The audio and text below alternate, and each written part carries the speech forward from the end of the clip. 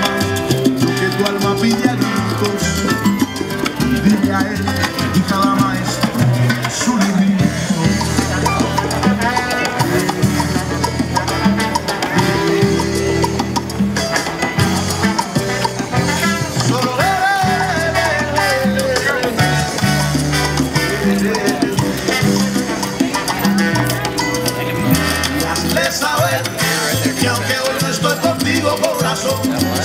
Por tus ojos.